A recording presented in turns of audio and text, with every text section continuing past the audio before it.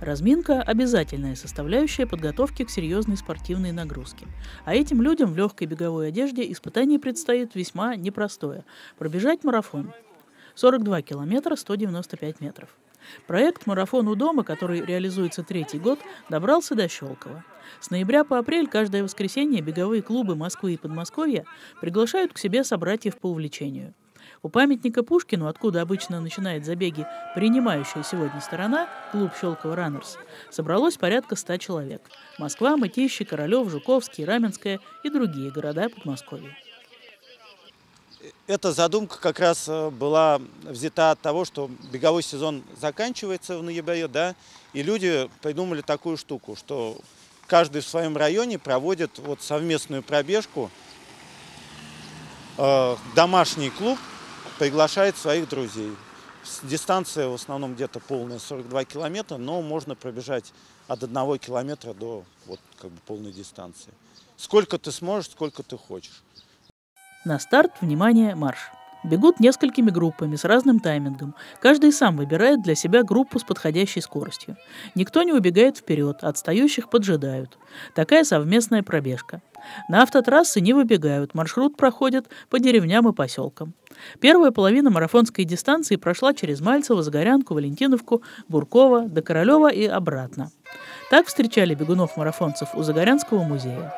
Вот и финиш первой группы. Половина марафона, а это, напомним, около 21 километра, позади. Только что финишировали участники первой части марафонской дистанции.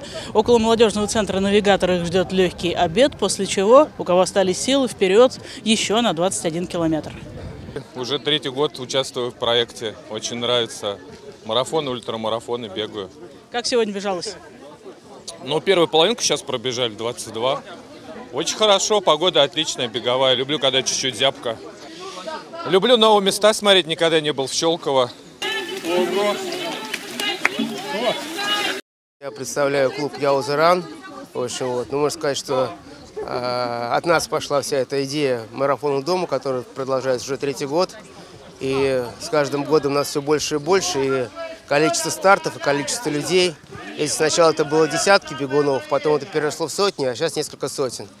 Один из самых возрастных участников марафона у дома оказался нашим коллегой, редактором отдела спорта газеты «Труд». Георгий Настенко рассказал, что в молодости был тренером по легкой атлетике и спортивному ориентированию и до сих пор регулярно бегает на разных соревнованиях. В Щелкове ему понравилось. Ну, как здесь сейчас ребята провели, ну, просто идеальное, знаете, вот придираться не к чему, как говорится. И трасса интересная, и все продумано для тех, кто посильнее, для тех, кто послабее все и по интересным местам, и не повторяется маршрут. Встречаются среди участников и такие экзотические для этого времени года, как наш гость из Королева. А вы вот так вот всегда бегаете? Лето круглый год, да. Люблю бегать так, да.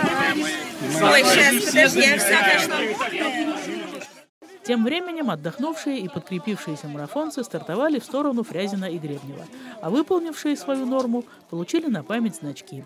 И как нам потом рассказали, общая дистанция по щелковским местам превысила классическую марафонскую и составила 47 километров. Проект «Марафон у дома» теперь продолжится через две недели в Балашихе. Ирина Микеда, Сергей Максимов, Щелковское телевидение.